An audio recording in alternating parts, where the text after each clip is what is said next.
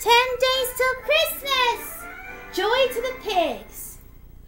I'm so excited! Hey! That wasn't nice! Oh, what?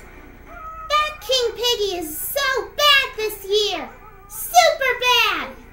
Oh. He is so close to being put on the permanent naughty plaque himself. I still can't believe it's a real thing. Terence? He's Santa this year? I guess he is. He's delivering presents to the pigs. Whoa! Oh gosh. Aw, he's leaving them presents. And apparently destroying the rooftops. He doesn't mean to. He can't help being so, uh, heavy. If you're watching this, Terence, no offense, you're not that heavy. At all.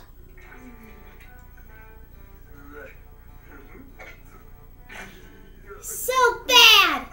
Naughty, naughty, naughty! Oh!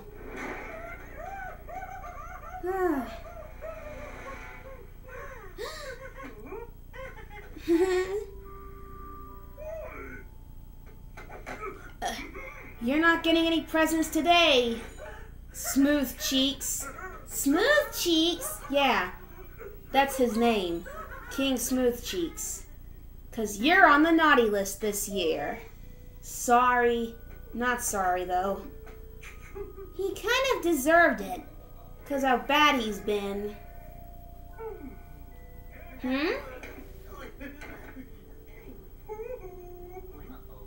Oh.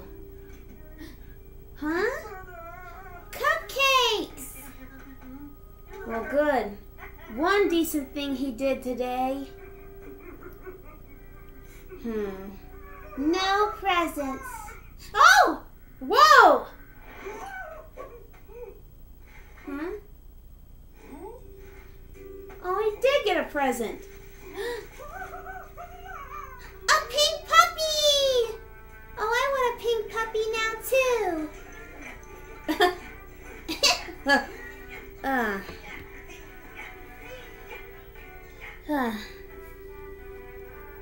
Be good for goodness sake, folks.